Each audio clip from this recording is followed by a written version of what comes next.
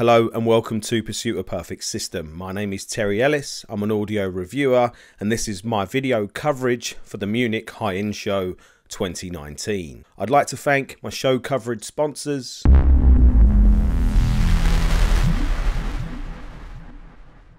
Melco, GIK Acoustics, Tellurium Q.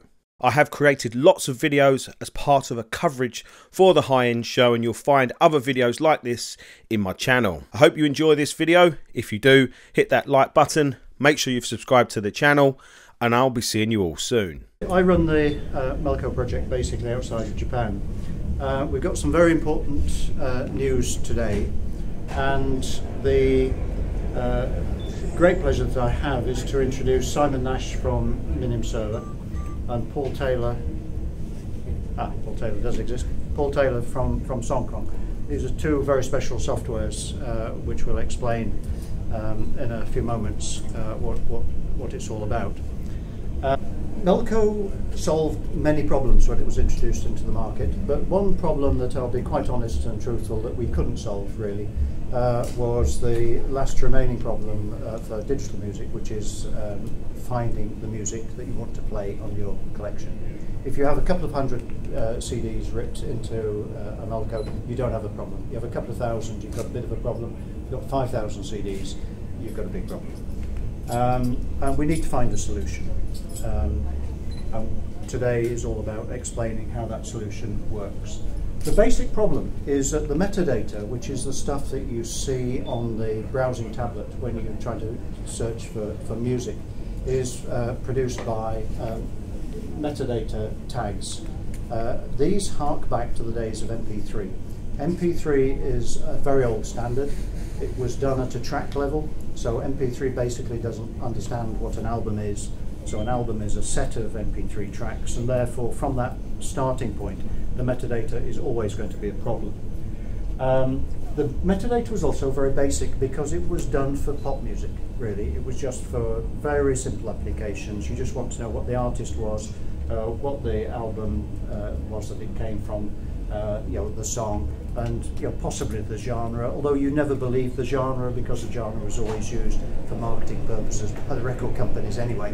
So you know, that was meaningless. So basically we have just three uh, clues to find, help you find the music. The metadata libraries um, are all incomplete. We use um, Gracenote, which is the same library as iTunes use, a very fine library. However, there are many others. All of them have defects to some extent, and most of the defect originates from the fact that the metadata is provided to these companies by the record companies, and the record companies don't really understand. It's the marketing department of the record companies, they don't really understand what the music's all about. So rock and pop, you're in with a chance. Jazz, probably not. Classical, forget it. Um, and we've all got customers who get frustrated as a result. Um, the libraries are, are, not only incomplete, but they're also inconsistent. So the data that you would get from Gracenote is different to the data you get from AMG. It's different from the data you get from some of the other databases. Uh, so we choose by default today just one database. So I'm telling you now we're giving you inconsistent and incorrect metadata with your uh, Melco rips. Um, it's not really our fault, but so far there's nothing much we could do about it. The other thing is that when you're browsing, you're using a tablet or something, or uh, on a Melco, even if you use the front panel, you're actually interacting with a, a, a very clever piece of software called the UPnP server. The UPnP server is really the, the browsing bridge between your music collection um, and, and your own wishes. The problem for the UPnP server is actually they're all a bit different. They work in different ways, so the performance and behavior of the UPnP server isn't consistent. But the, uh, you know, there's a lot of variation. So how can we fix these problems? Well, there are two basic areas of the problem uh, that I've outlined. Um, one is uh, the metadata, the other is the UPnP server. So we can manually edit metadata. Um, some of our expert and geeky customers do it all the time. Um, I wonder if they've got a life because it takes a lot of uh, a lot of hard work. Um, and um, you, if, if, if you're editing metadata, you've got to understand that file names are not metadata. So a lot of customers waste a lot of time changing file names, get absolutely nowhere. Um, so we can edit metadata using uh, various software tools, but in order to do that, you have to have a very clear idea in your head of what it is that you're trying to achieve. How do you want to rearrange your digital music library in, in, in the machine? Um, if you've got clear rules and wish to apply these things, um, then to be quite honest, this is something that we can apply automation and data processing to. Um, so that will allow for the application of consistent rules to the building of the metadata. So the solution to that uh, part of the problem is software called SongKong. Anybody who's uh, known Melco for a few years knows that we've supported SongKong for a long time. Um, this is a very powerful uh, software uh, metadata engine that makes multiple lookups from various sites. Um, uses clever algorithms to actually assess what the album or the track or whatever it is really is um, and embeds that as proper metadata. It's very deep, it's very detailed because it's getting data from uh, many, many data sites. Um, because the algorithms are applied not by some third party but actually by SongKong, the metadata is now consistent. So the rules apply to every uh, album or track in, in the collection. Um, I'll uh, qualify that by saying that we actually treat classical music and non-classical music slightly separately, uh, slightly differently for obvious reasons. Um, and we can deal with things like um, a typical classical situation where you've got multiple pieces of music, multiple works on one album. Um, know Simon doesn't like me referring to these as compilations, um, but you know it's one album with two or three interesting things on there. You're only wanting to search for one thing. You don't want to search for the album. Um, we've got uh, multiple track artists, very common with with jazz. Uh, lots of stars attributed to an individual track. Multiple work artists, subgenres. All gets very complicated, and SongKong consistently applies rules to fix it. So going back to the UPnP server, which if you remember is the interface between this metadata that SongKong has and the user, there are variables and problems to be dealt with here. The first thing is that actually the UPnP server has no idea what the original data is supposed to be. It doesn't understand uh, whether, whether it's classical, whether it's incomplete. all it can do is make the best of a bad job. So the data that's there, the UPnP server has to interpret as best possible. Um, but it's working in an unknown environment. It doesn't know what control point you're using. Um, now, of course, in the case of Melco, you know, we, we try and fix these things to some extent. Um, but the one thing that we, we can't adjust for is the user. I don't know, or the Melco doesn't know, whether the user's trying to search for classical music, jazz music, or rock and pop. Um, and we don't know really what's in the customer's mind when he's going through the browse tree, getting increasingly frustrated trying to find stuff. Um, so you know, we don't know what the user preference is. So the, the solution now for this is to use uh, Minim Server. Again, Minim Server is software that's been around for many years, highly respected. We've long recommended people to install Minim Server in, into Melcos. Um, a good number of Melco users actually do have Minim Server integrated at the moment. Um, but it's a manual installation and um, it, it, works fine, but I will confess now it is not perfect. And I'm going to ask our two, sorry, the experience is not perfect, Minim server is totally perfect. um, but um, the, the, the, clever thing uh, really is that we take advantage of Minim server intelligent browsing because Minim server is a lot smarter than um, other UPnP servers. If we link the two things together um, in, inside the Melco, we get um, a, a, total system which involves Minim server, which you can see in the middle, um, dealing with all the clever metadata that SongKong has carefully produced. Um, controlled by any possible means that you wish to control it. We've got web control, even from panel control from the Melco. Um, and it works for network players and it works for the local USB player as well. So th that's the introduction, if you like. Uh, okay, so uh, the development of SongKong goes back a few years, and the concept was that we wanted the date, your metadata, your music library to be consistent. And the other important thing is we found that it can be done automatically. Um, we wanted to we wanted to fix the metadata so the metadata was fixed in the files itself. So your music library wasn't tied to any particular system, such as iTunes. It was it was individual and could be transported from one place to another without losing any of that valuable metadata. We wanted the metadata to be detailed and comprehensive because people want to browse their music by things rather other than, as Alan was saying, other than just by album or artist, by works or by things like BPM for a DJ or um, particular record labels. So we wanted that comprehensive metadata that wasn't previously available. But we wanted it to be easy to use because people are very busy. So we wanted it to just be a simple thing that people could run and trust. And because music collections are very personal and important, we make a very detailed record of exactly what's been changed so the customer can have complete trust about what has been modified and we also provide a way to make the change to undo the changes at a later date. So if there's anything they don't like they can just go back to how things were at a, any particular level. So we now have SongKong running on the Melco itself. And basically here we can see that, um, I won't go into too much detail, but it can identify the audio files in a couple of different ways. One by something called audio fingerprinting, whereby it actually listens to the music and can identify the song based on the, the, the actual audio.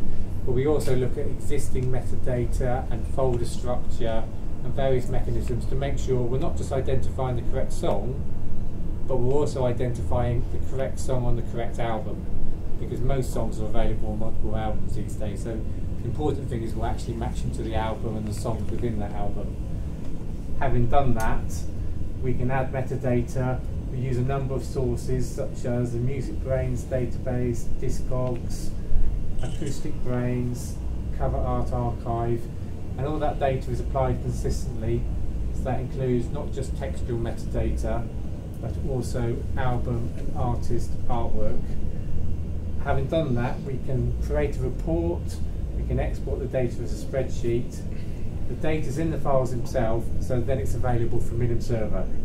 And we can control SongKong from the Melco or from a web browser, and that web browser can be running on anything. So you don't have to have a separate computer. You can be, you can control SongKong from your phone or tablet or any any device that has a web browser. Um, so Minim, one of the great things about Minim Server, it makes it possible to browse by any metadata. And SongKong provides a way to get that metadata available to Minim Server. Um, one key thing we really do is with artists. So where others, where some other solutions might just look up data for a particular album, and the the artist, the, the artist might be say Tchaikovsky. Then a user might have another album where the composer's Tchaikovsky, but maybe it's in Cyrillic script because he's Russian. So then they, they, they can end up with having the artist listed, tw- or the composer in this case, listed twice with different names. But because SongKong is looking them up in a database and understands them as entities, we can say always use Tchaikovsky spelled in the Roman language or always use the Cyrillic name so we get that consistency.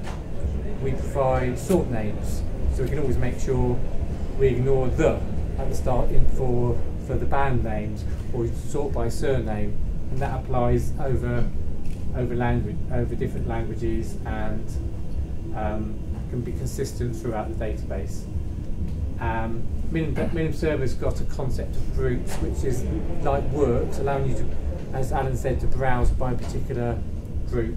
And SongKong can add that data, understands works, so it allows you to um, browse as you wish. And it also can it also has an algorithm to identify non-classical from classical, so it can apply rules, especially for classical music.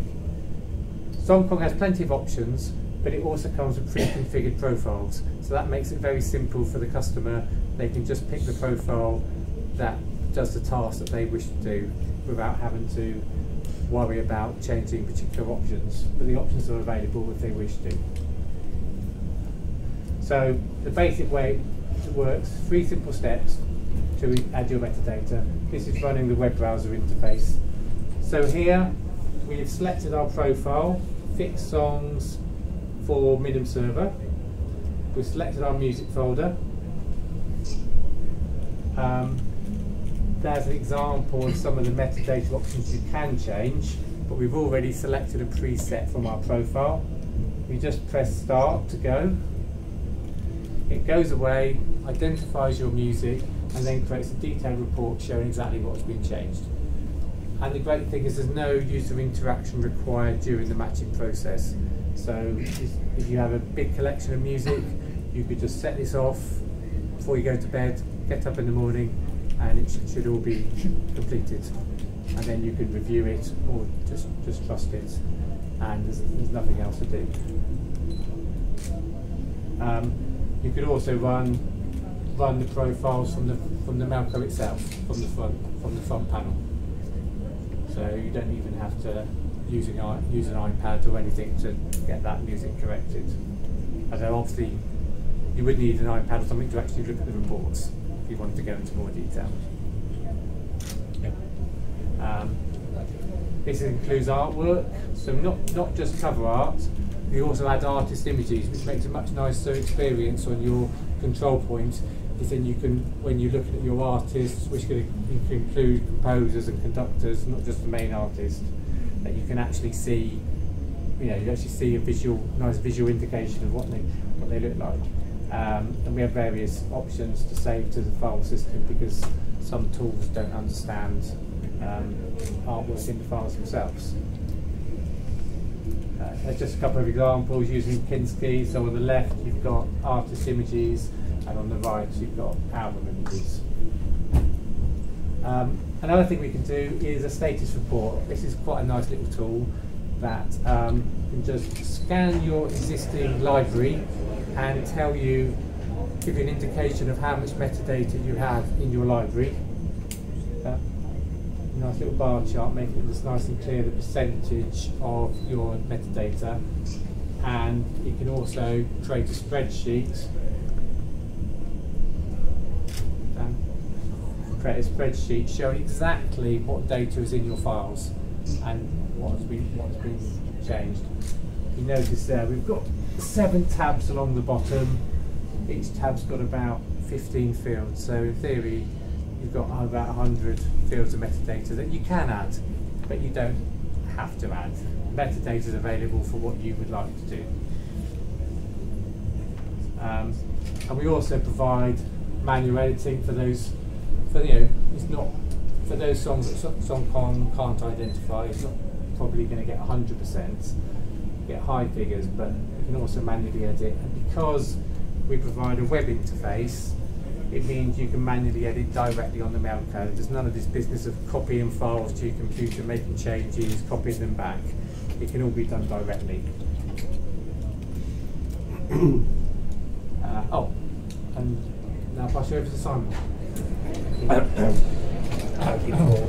And please excuse my voice. Um, uh, and good afternoon. Uh, who here is familiar with Minim Server? A few, few people.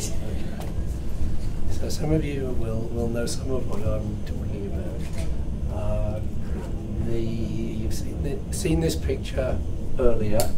Um, uh, Alan briefly described it, so just to remind you, the Minim server, uh, the box in the middle, reads metadata from the music files, and then metadata put there by Songkong or uh, perhaps you have your own preferred metadata system, that's fine as well. And it indexes um, that music and serves it uh, to the control point for browsing and also to the player for playing the audio. And separately from that, you can control the operation of Minim Server either from the front panel of the Melco or from uh, a web user interface. Excellent. Thanks. So, um, Minim Server originally uh, was designed for the needs of classical music. Uh, Alan has described the problems, and when I first did, started getting into uh, digital audio with my uh, classical library, uh, I experienced those problems um, and decided I would like to try to solve them. So the, the, the, we've already talked about the, the need for rich uh, metadata going beyond the, the MP3 style of uh, doing things. Uh, works with nautical movements. I don't want to normally um, just look at uh, one movement of a symphony or a concerto. I want to browse and play the whole thing. Uh, very occasionally I might do it the other way, but I don't want to see four tracks for a symphony. I just want to see the symphony. And multi-disc albums are quite commonly in classical music. There's too much music just to physically fit on 70 minutes or so of one CD. So you have a double album, not because there's any particular um, meaning to what goes on disc one and disc two, just because there's more music. Uh, and I don't want to see that as two discs. I just want, if I if I want to see the albums, not everybody wants to see albums. Some people do, some people don't. But if you do want to see albums, then you just want to see that as a single album. Uh, the other thing that is a very uh, key and I think unique feature of Minim Server is intelligent browsing, and that uh, has two aspects. First of all, you can browse by any tags and in any order. So the any tags is important because uh, you may, um, depending on the contents of your library, uh, you may have uh, uh tags that are uh, not um, perhaps part of the um, just the small set that all servers uh, would support out of the box. You may have um, more richer metadata, uh, such as created by Songkong. You may have added custom tags uh, for your own personal use uh, in, in, some fashion. Some people, uh, family members with different libraries, they, they put the name of the family member who likes that particular music and that you can select by the family member and just get the music that that, uh, that person enjoys to listen to. So tags can be used for any purpose at all and you can browse them in any order. I've got a, a slide coming up showing that. And when you do browse, the results of browsing are tailored for the contents of what you have just selected. I've also got a slide uh, coming up for that. And it turns out that although this was intended for classical, it actually works very well uh, for rock, pop and jazz. Uh, next slide please. So the, uh, the top line shows the steps that you would uh, normally go through um, in, you know, in the, the uh, conventional uh, scheme of things. Uh, start with an artist. Um, there's an example here. Um, and then you would see a list of albums by that artist. Uh, you would pick one, and that would then show you a list of tracks within the album. You would pick one, perhaps more than one, and then you you press play. That is very much like picking a CD off the shelf.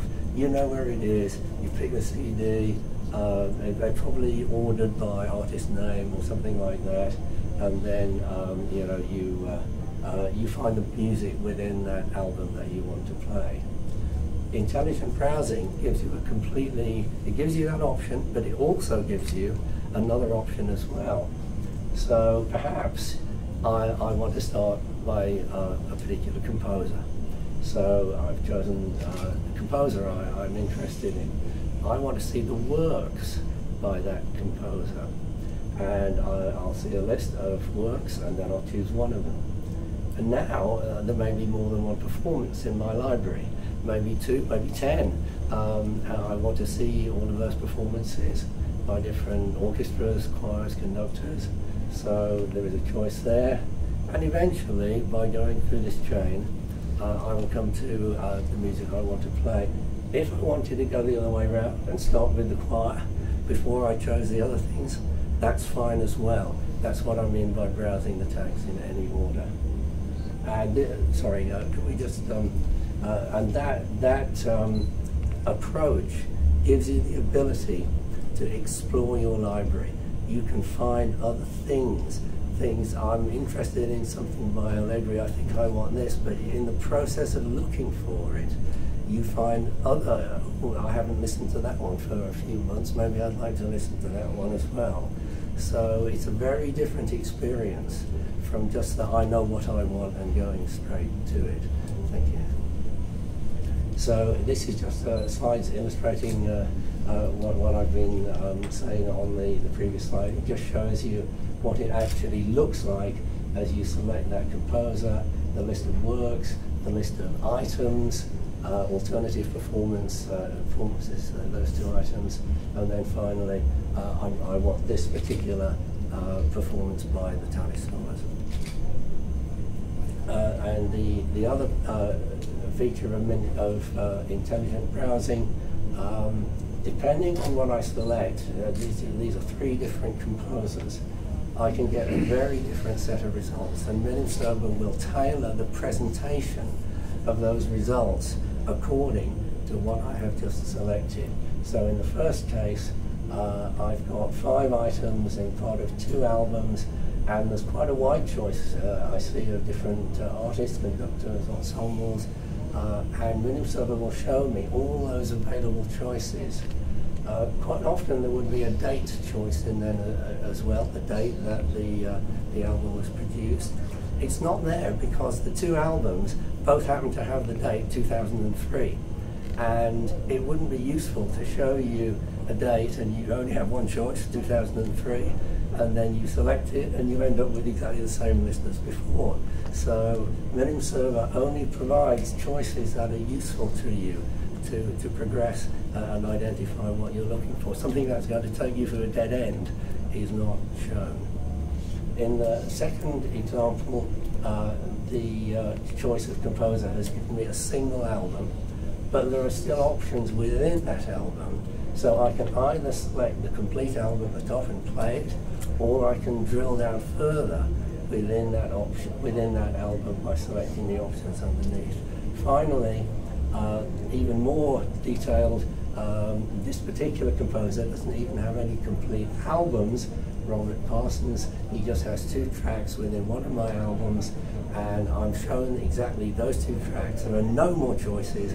I can either play uh, one or both of those tracks. If I happen to be interested in the album that they came from, I can then select the uh, complete album at the top and see what else is part of the same album. It's all part of exploring my library and finding other things that perhaps I wasn't originally looking for. Thank you. Now, um, MinimServer started out life uh, quite simply. Uh, it just did what it did, and users liked it. And of course, they said, "We want this, we want that." So options were added, new configuration settings, and then it started to get a bit complicated. Then users started saying, "Well, this looks great, but I don't know. Uh, uh I'm not expert enough to understand what all these things mean."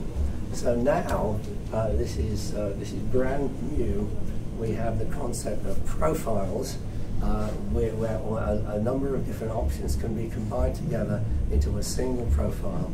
And, and if you want that particular combination, you can just select the profile. Uh, if it's running on a Melco, just select it from the front panel, uh, SongKong, classical, whatever it happens to be, um, and you will get that combination of settings. Very simple. Next. Uh, as we've already said, MinimServer and SongKong work uh, very well together. They work, MinimServer really doesn't mind what tags you've got in your library. It'll be good uh, for anything. It's particularly good if the tags are being produced by SongKong. Uh, and we have pre-configured profiles or, uh, uh, that are part of the standard download that you can do. Uh, if by any chance you have, um, perhaps you've just imported uh, some songs uh, from CD or download, or you've copied your library from somewhere else, it hasn't yet been through SongKong, we have a generic profile that is suitable for, for those cases. That is a very simple set of choices uh, but it's, uh, get, it's enough to get you started. And if you want to uh, customize things more, then um, there is an upgraded uh, version of Minim Server available with more options and more configuration flexibility. Uh, a few more features. Uh, UPnP search by keyword. Sometimes you you know you know something's in there, but you really can't remember. You, you think it was an, a song with star in the name somewhere, so you could search for star, and you just get a, a, complete list of everything uh, containing that keyword. And that can be a useful, uh, that's complementary to the sort of browsing down your tree if you just want to search for a certain thing. And some control points actually allow you to mix that up and start by browsing and then switch over to searching. That's a powerful uh, combination. Uh, MinimServer works with a very wide range of control points and players. Um, and when I get reports saying there's this little problem, then uh, uh, it tends to get fixed. Sometimes the problem's at the other end, and that's uh, that's more interesting challenge. But if it's the minim, if the problem's at the minim server end, it gets fixed. Uh, minim server is very quick to respond. Uh, that was one of the important uh, uh, aspects of its design. So you push the button and you, you get the results immediately. And uh, runs on also many other devices. Some people keep multiple copies of their library. Uh, of course, you've got it running on a Melco, but maybe you've also got it running on a PC, Mac, uh, some other kind of NAS, uh, in which case you can run Minim Server in more than one place and get the same, exactly the same browsing experience uh, from all of those different devices. I'll now hand back to Alan to complete the presentation. Thank you. Thank you, Thank you Simon. So, just to uh, restate the key points of Melco, there are really only two main reasons for Melco to exist. The first is exceptional sound quality. To, so far, um, until Melco was introduced, it was conventional to do digital music on computers or combinations of computer type devices. That limits the available sound quality. Excuse me. So Melco was introduced first and foremost uh, to deal with the sound quality issue. It's not a computer, it's not a computer in a box. If you go around this exhibition, you'll see lots of things that have similar functionality to Melco. Um, I bet a pound to a penny that many of those, uh, most of those, um, are actually just simple computers in a box. Um, so this is a dedicated platform, no um, audio compromise at all, and it's got all the technical audiophile engineering to achieve the results that you would expect. Um, but the other key point about Melco is, and some of this is due to its origins in Japan, um, where people are not computer savvy. They don't muck around with computers like we do over here. They just want stuff that works. So Melco was designed to be easy. It just works. The one area so far that was a problem was browsing. I'll be quite honest, because if you had a large collection, uh, and you wanted to do anything vaguely sophisticated in terms of finding music, it was a pain. Not really our fault.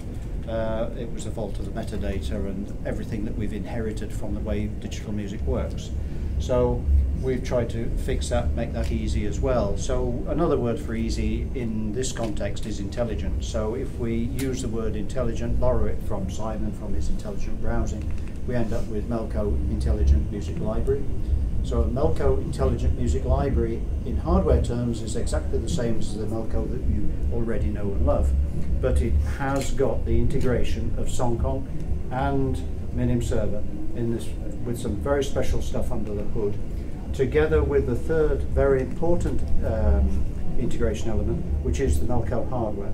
So we've actually got machines here that we can play with later, where all of the key settings, so the profiles that Simon spoke about, so classical search, um, rescanning, telling SongKong to go away and find new uh, album covers, all available on the front panel of the Melco. Um, so, you know, I think we're justified in, in saying easy. Um, and, you know, that's quite an achievement. It's, uh, it has to be an industry first. Okay. So, very simply, Melco Intelligent Music Library is the combination and integration of SongKong, Minim server with intelligent browsing, and the Melco hardware. And that, thank you for listening, is the essence of our story. So